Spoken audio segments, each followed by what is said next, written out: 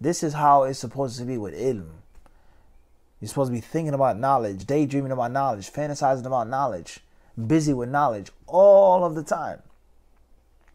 All of the time. And this is one of the wisdoms of making your occupation something that pertains to knowledge. And it's not like how some ignorant people or some narrow minded people they say, Oh, I don't want to be the imam of the masjid because I don't want to take no donations from anyone. Or I don't want to have a salary that's pertaining to dawah. It's going to affect my dawah. It's going to control my dawah. Money, once people start paying me, then they're going to control what I say. Or it's going to dictate how I move and where, what I go, where I go. I don't want to sell any books. I want my books to be for free. Or I don't want to do this and I don't want to do that. I don't want to take no money from dawah. I don't want to get paid. I don't want to have no salary for being a school teacher and the masjid. Nothing because you're not supposed to take money for knowledge. Because they're going to control you. Because because because because because. Imam Ahmed said this على تحديث if you take a gold coin to tell a hadith Imam Ahmed said boycott him so on so that's the proofs that they use. But these people we're not even getting to the proofs and evidences the dalil from kitab and sunnah to state whether that's correct or incorrect. But the concept of the wisdom behind it is that when your money comes from studying and teaching and learning and giving dawah, then you're always involved with ilm. You're stuck in the circle of ilm. And anyone in, with any common sense is going to make his chosen art, if he can, his means of income. That way he's always involved with it. He wakes up, he goes to sleep. Everything that you do is pertaining to art. A person is an artist. I love to paint and to draw. I love it. I can't live without it. My fingertips always have to have, huh? Paint on them, nah? Oil based paint. All of the time. I live on a canvas. I make my money through canvas. My recreation is on a canvas. My pastime is on a canvas. That's not the same as a person who works in a hospital or who works as a mechanic or has a business for eight hours out of the day, 10 hours out of the day, 12 hours out of the day to pay bills, to eat, to put food on the table. And then I have to come home, take a shower, change my clothes, and then paint. But I'm tired. I'm exhausted. My mind, my body, I have family, I have this, I have that, I have a social life. When is the time for me to be soaked into the canvas and the oil. So when the thing that you love to do and you are being financially compensated for that thing, not only is that a blessing and a dream for someone who really loves the thing, but it's wisdom because it keeps you involved in the circle. I have a class to teach the young children Juz Amma. I've memorized the entire Quran. But every time I teach this class on Juz Amma, it's review for me.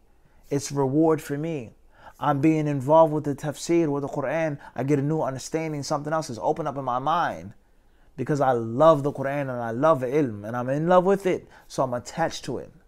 And my entire circle orbits or it, it, it, it, it, it revolves around knowledge. I go to work, I'm studying. I'm getting paid to study. I'm getting paid to review. I'm getting paid to teach. On my break, I'm studying. In my house, I'm studying. When I'm driving, I'm studying. When I'm sitting, I'm studying.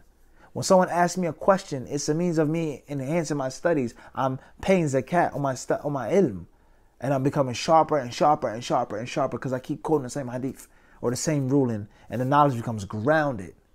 This is wisdom. This is wisdom in this, and the same applies, as we said, to the worldly sciences.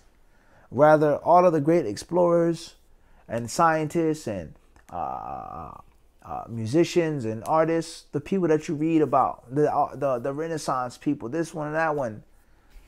None of them, or none of them, ever could achieve anything notable and worthy of being uh, eternally printed in the annals of history, except through their patrons, except through funding, except that they had the money to free themselves to study and to research and to discover and to write it down and to formulate their theories and their discoveries. And the moment they had no money, they had to go out and work, they had to go out and do this. You see that their advances and their breakthroughs weren't as groundbreaking. This is a reality of life. This is a reality of life, huh?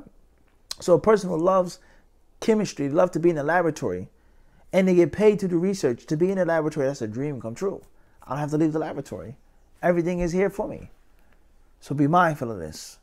If you truly love knowledge, to always be connected to ilm and involved in ilm, teaching, learning, studying, reviewing, writing, speaking, it's a circle. It the revolving door. It never ever stops. It never ceases. It comes and it goes back again. So we have to ask ourselves this question: Are we like this, and do we truly love knowledge, and are we in love with knowledge? Huh? He says, "Qad hubba." Huh? That Imrat al-Aziz, the woman of the Aziz of Egypt, huh? She was in love with Yusuf. She lusted after Yusuf. And they said that we see her to be in plain misguidance because of how passionately connected she is to Yusuf. I read clear on this? This word, huh? is for someone sharuf. It's a higher meaning in the Arabic language of love and of attachment. And that's how you have to look at knowledge. Knowledge has to be your first wife. Knowledge has to be your, huh? Your first true love, your only husband. That's ilm. That's ilm. So you have to be mindful of this, huh?